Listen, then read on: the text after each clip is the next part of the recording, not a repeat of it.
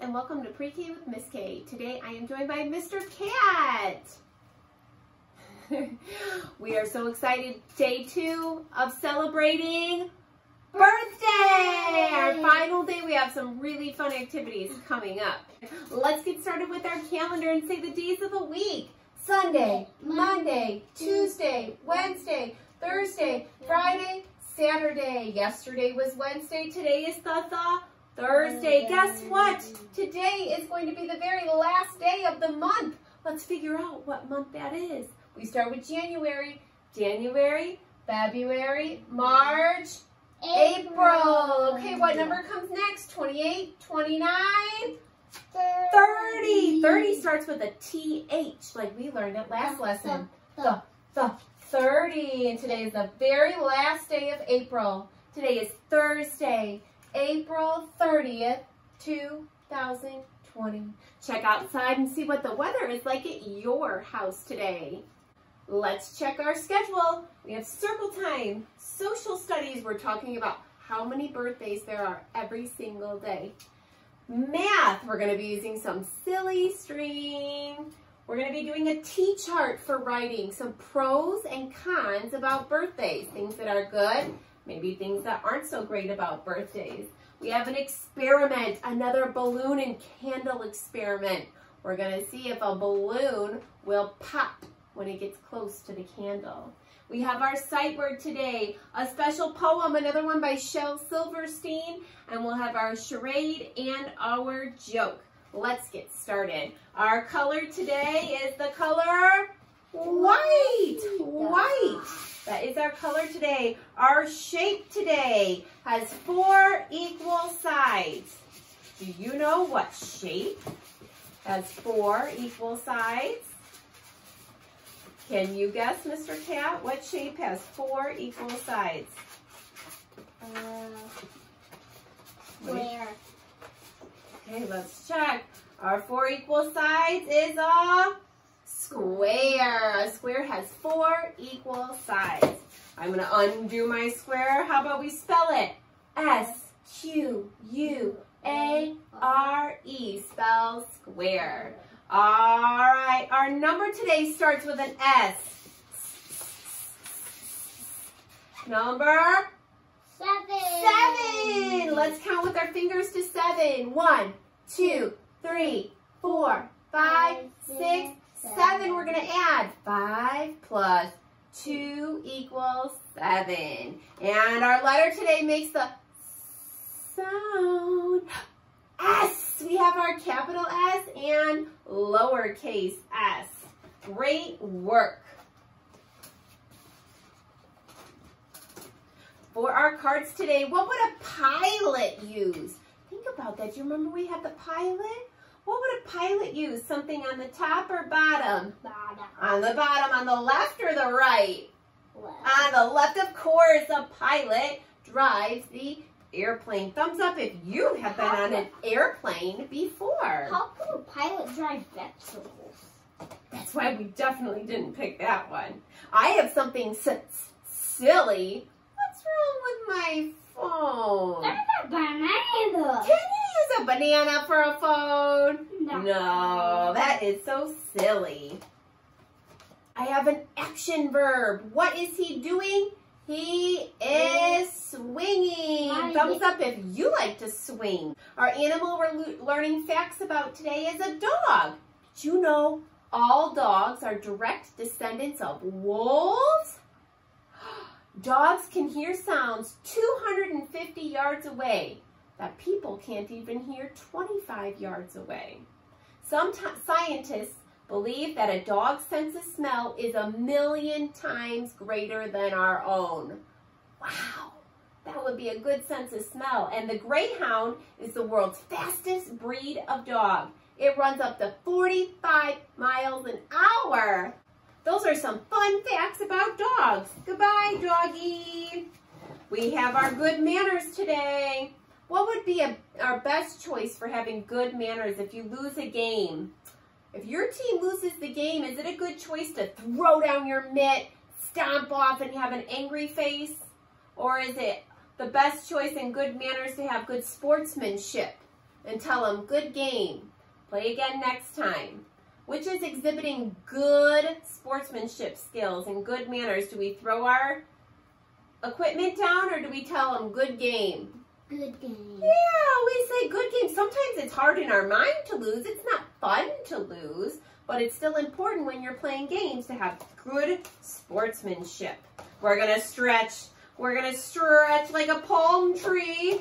You're going to start down squatting and grow up, up, up, up, up, up, up, and stretch on your tippy toes. Just like a palm tree. Great stretching. I have our little listening card. Let's listen for the details. Are you ready? Judy wants to go to Sweet Treats Bakery this morning to pick out her birthday cake. Judy wants to go to Sweet Treats Bakery this morning to pick out her birthday cake. Question one, who wants to go to the bakery? Uh, a girl. Judy, right? What was the name of the bakery? Remember that detail? The Sweet Treats Bakery. When does Judy want to go to the bakery? this Friday. This this morning. And why does she want to go to the bakery? To uh, pick out a cake for her birthday. That's right, to pick out her birthday cake. Couple qu questions here. When do the trees grow new leaves? What season? When? When do trees grow new leaves? spring. In the spring. Thumbs up. It's springtime right now. Look outside. Are you seeing some more leaves on the trees? I know we are. In our category, a frog, a kangaroo, and a rabbit are all what? Animals. That can do what? It's more specific of a category. Hop. Animals that can hop or jump. Last two, wiggle your fingers. And pretend you can fly. Stand up. Pretend you can fly. Do a little break. Pretend you can fly. For our social studies today, we are going to talk about birthdays. How many birthdays do you think there are in the whole world every single day? Hmm. About that. Look at this gigantic number. There are about 17 million 700,000 birthdays every single day, according to the Farmer's Almanac. 17,700,000 birthdays every single day. Oh my god. That is a lot of birthdays. How many do you think there are in just the United States? Just the United States. In just the United States, there are 814,000 birthdays almost every single day. Those are two big numbers. For our math today, we are going to be using some silly string and talking about which numbers are greater than, which ones are less than. We're going to move over to our other area. Let's go. Hi friends and welcome back. For our math today, I'm going to be putting up two numbers and then my friend Mr. Cat here is going to spray depending on what question I ask. I'm going to move a couple of numbers down. What number is that? Five. Five and Two. and two. Okay, Mr. Cat's ready. You're going to point it at it. My question is, which number is less than the other one? Two. You got to keep it back. I can't. Okay, spray. This is hard. You got to aim it the right way. Good try, Mr. Cat. Okay. And Which number is less than the other one? You point. I'll spray. Two. Got it. Get our next numbers. We have number, what number, Mr. Cat? nine. Nine and Four. four. Which number is greater than? Nine is greater than nine. Got it. Put them all in a okay.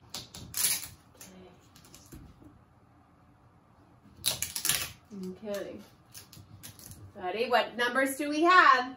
Six. and Seven. which number is less than the other one? Six is less than seven. Six. Got it. Okay. Let's do.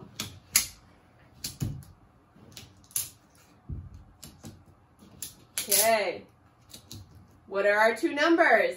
Eight. Eight and ten. Which number is greater than the other one? Ten is greater than eight. Ten. Got it. and one more. Which number is less than the other one? Four. Four is less than five. Boop, boop. Got it. Thumbs up if you had fun with silly string. Ready? Ah! All right. Wow! I want to the game. ah, okay. And I had that one. We're going to go back over and do some writing, pros and cons. Hi friends, wasn't that fun to do our math with silly string today? Up next we have our writing. our friend Johnny came to celebrate birthday today. Okay, we have our birthdays T-chart. We're going to be talking about pros and cons of our birthday. Let's come up with two things for each. All right, let's think. Mr. Cat, what would be something good, a pro about having your birthday? What's Present. something? Presents. All right, be thinking. What would be a con or something negative or something that's maybe not great about your birthday? Think about that. Maybe it could be that it only happens how many times a year? One. Yeah, maybe something that you don't like about it is it only happens one time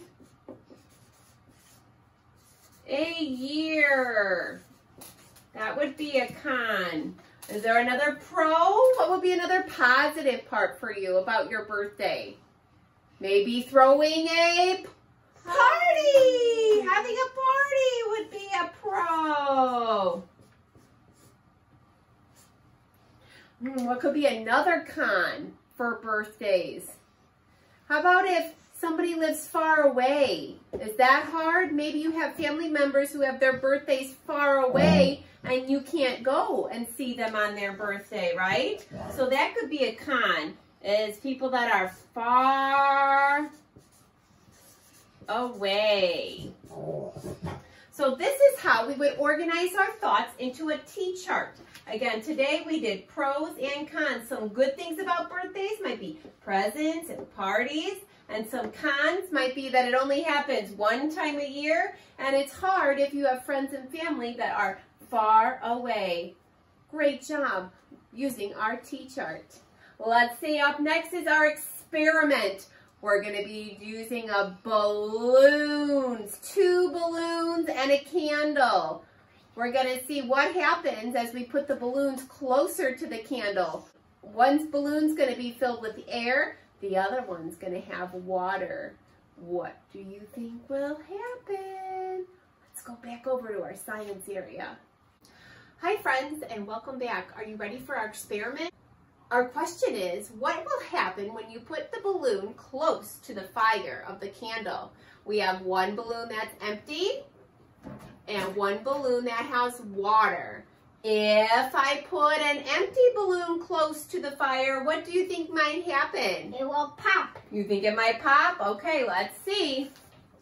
As it gets closer, the latex is going to heat up and pop. Surprise you? Yeah. But when we have the balloon that has water in it, what do you think will happen, Mr. Cat? It will not pop. It will not pop. Let's see. Touches it. What happened? Did the balloon pop? No. No. Finger mark. Well, this mark is carbon from the candle, but the balloon that was full of water did not pop. because the water helps transfer the heat and the rubber of the balloon didn't get hot enough to pop. So it didn't pop at all. It just made the mark from the candle. So that is so exciting. If you have an empty balloon and put it close to the candle, what happens? It will. It pops. But if you have water in the balloon close to the candle, it did not pop because the water helps transfer the heat and the rubber of the balloon did not get hot enough to pop. Thumbs up if you like our experiment. Good job. We're going to go back over for our sight word and our poem. We are ready for our sight words. Our new word today is spelled N-O-T. Let's sound it out. N-at. Not. Not. Our word is not. Let's go through our other words and then we'll see our sentence. We have not, big, have, it, like, is, in, go, you, see, to, I. Those are all our sight words. Let's look at our sentence that has not in it. I need you to help me read. It is not my birthday. It is not my birthday today. Is it your birthday? Yes, it is, or no, it is not. For our poem today by Shel Silverstein, it's about birthday. We're going to be looking for our sight word not. Get your binoculars and be looking through as we read, looking for our sight word not. The title is birthday. Ready to help me read? The party clown was away at the lake. The toy store man was not awake. There was not. Hmm. The bakery man was out of cake. I hope you like this birthday snake. Uh-oh, do you think you would want a birthday snake or a birthday cake? I think. Thumbs up for birthday cake. I don't think I'd want a birthday snake. Goodbye, birthday O- snake. only if he would bring me the cake. I would say I do not want a birthday snake. All of our rhyming words in our story were lake, awake, cake, and snake. Great rhyming. To end the day today, we have our charade and our joke. Mr. Cat's going to act it out for you. Can you guess what it is? Good job. What is it, Mr. Cat? Hula hoop. A hula hoop. That's right. Using your hips for a, hoo a hula hoop. Okay. Our joke today is, what do you call a funny snake? Like our birthday cake snake. Cake. What do we call a funny snake? Hmm. What do we call our funny snake? We call him he's Uh, hysterical. he is hysterical. Thanks for joining us, friends. See you next time.